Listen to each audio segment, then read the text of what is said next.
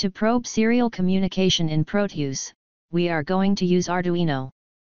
Open Arduino IDE and go to File, Examples, section number 4 called Communication and select Physical Pixel. Confirm that Arduino board Uno is selected. Save the code in the location of your preference. Then, go to Sketch section and press the option Export Compiled Binary.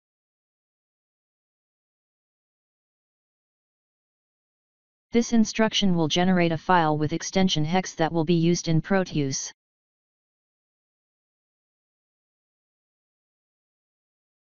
Open Virtual Serial Port Driver and add a pair of virtual ports. You can select any number in the list shown.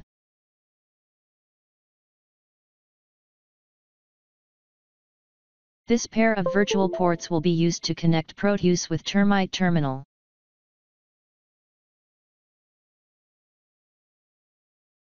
Open Proteus. Add an Arduino Uno board, a resistor, and a LED.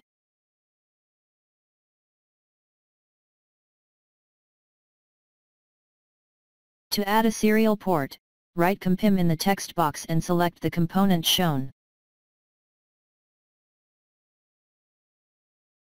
Once you have all the components selected, build up the next circuit.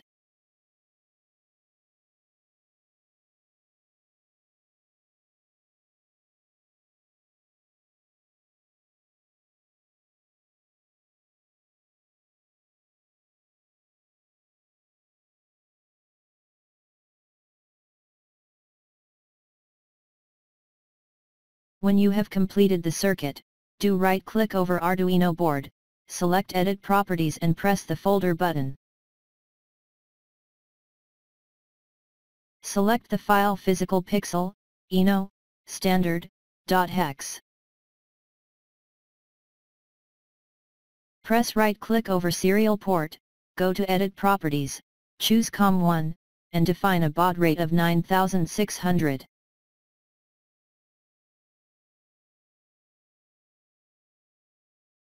This is one of the two virtual ports created in Virtual Serial Port Driver. Open Termite Terminal.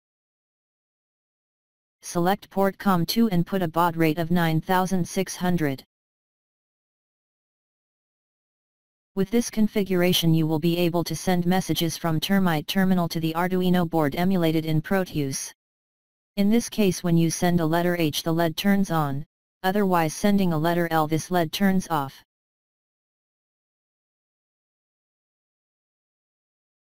This method can be used to connect various kinds of virtual microcontrollers to diverse types of desktop software.